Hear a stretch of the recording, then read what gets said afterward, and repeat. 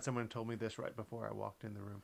Um, the uh, the Vatican. You're talking about technology and the fact that it's an old thing to do. The Vatican not only has a spotlight on the chimney so that we can see it. Oh. there And there smoke. it comes, There the is black the smoke. smoke. And someone. That's definitely black smoke I must coming leave out now of to the put that chapel on the windows. Facebook page. All right, Okay, bye-bye. thank you, Charlie, for being with us. But there it is. That is definitely black. It's fascinating because in the previous conclave, I don't know if you remember watching it on television in London, Father Mark, but there was a lot of doubt as to whether it was black or Yes. white, or as one of our Scottish cardinals famously said many years ago, a very dirty grey coming out of the Sistine Chapel chimney. That there's no doubt about that. That is It's black remarkable how clear it is uh, th- th- this late at night, but it's very obviously uh, black smoke, yes. coming out of the Sistine Chapel, and therefore we have no Pope for this evening. It means that the 115 cardinals gathered there in the Sistine Chapel have had their first round of voting after their swearing of uh, the oath of allegiance. They did go for that first ballot. They didn't come to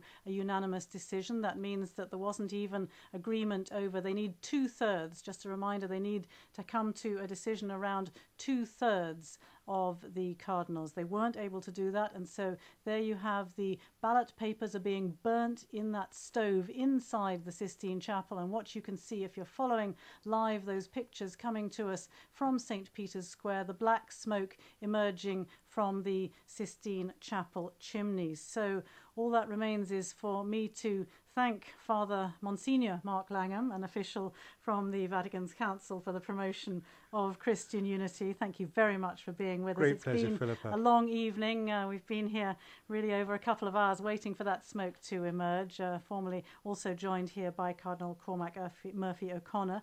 And just to invite you all to join us again tomorrow morning. We are beginning again, I believe it is 11.30 in the morning for the uh, next of our live coverage.